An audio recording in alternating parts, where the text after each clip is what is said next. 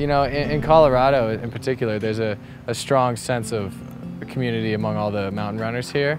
And so everybody in Colorado knows about Bill Dooper.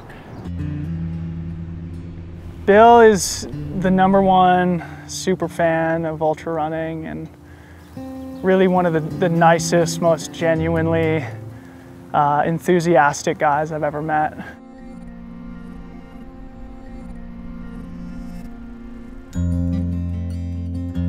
I guess I'm ready. We got all the questions there?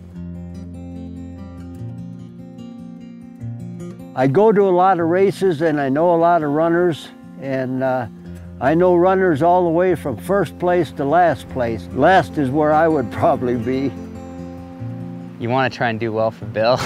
you know, you come by and you're like, oh, I gotta look good because Bill's, you know, Bill's there. And when you go out and you're having the most incredible run or the worst run of your life, and then you come into an aid station in the middle of nowhere and Bill Dooper's out there cheering for you. I mean, that really means a lot. And, uh, and Bill just kind of represents that, that spirit of community. This is Scott Jurek, won Western uh, seven in a row. And he's a cool guy too. I, I, I seem to fit in with all the runners. They're, they're all my friends and uh, they do all kinds of things for me. It's, uh, it's kind of unbelievable.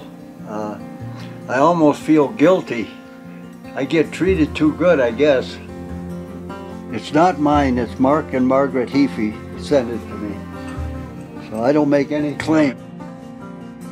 Here's another one. The race director said that I'm down there all the time, I should have one, so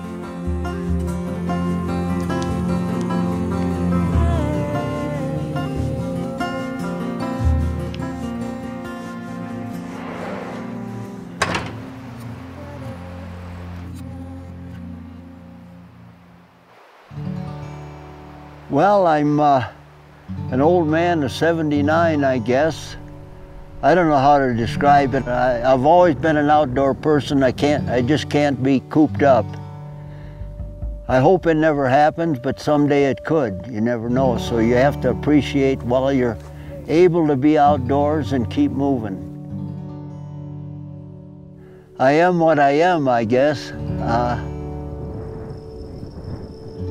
Bill's so genuine. You know, he has this just this natural kind of generosity towards everybody and this this this sense of like he just really loves it, you know, and you really feel that and he's really rooting for you. You know, when he'll come and he'll he'll give you a pat on the back in the beginning and slip his little piece of paper with his his odds and you're on the list and he's just like I'm I'm rooting for you, man, you know? And there's just this this genuine kind of, you know, love for the sport, but also just kind of support of, of, of the guys doing it. Bill's really, really just a pure fan, you know?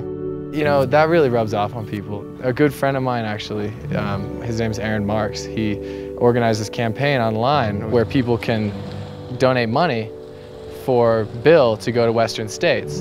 And as soon as I heard the idea, it was like, we have to make this happen. I got it set up and I put it live. Woke up the next morning and I went to class and I came back and I looked at it and we were like halfway there. We, we had done half of what we needed to get to get him there in less than 12 hours. It's unbelievable. Uh, if somebody told me uh, that, that they could do something like that, it would be a little hard to believe. Everybody else knew about it long, long, long time before I did. So uh, they, they were talking to me on their computer and I was talking on a co computer and their picture was big on mine and my I was big on theirs and I was kind of in shock. Well, this weekend I'm going to make my first appearance at Western States, which is the granddaddy of them all. I know I'll fall in love with Western States. I already have. I've been research, doing some research on the history of it, and it's awesome. Uh, it's, it's the race that started it.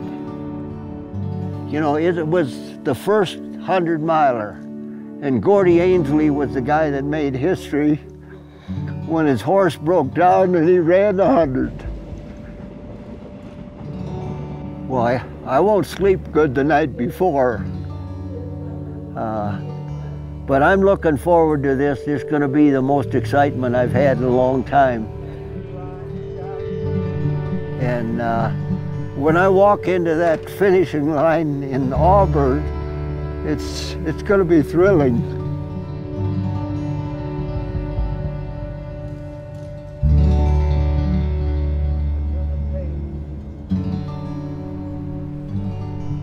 I wish to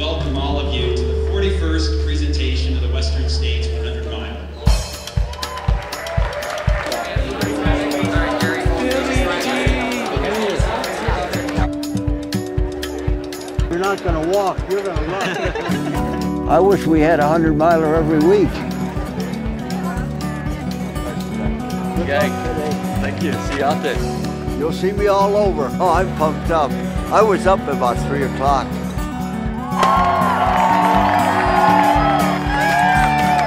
Boy, that's a sight. Uh, offhand, I don't know. I haven't found anything more exciting. All right, Dylan. Okay, Michael. Good job, good job. Pretty awesome. Big crowd, lots of action. They tell me that uh, I inspire them. Well, so that's their opinion. I guess maybe I do, some of them. The runners inspire me, just watching what they do. Uh, it's pretty awesome, actually. I don't know how they do it, but they do. He's still in good shape. People, uh, people actually look forward to seeing me at a race, and if I'm not there, I hear about it.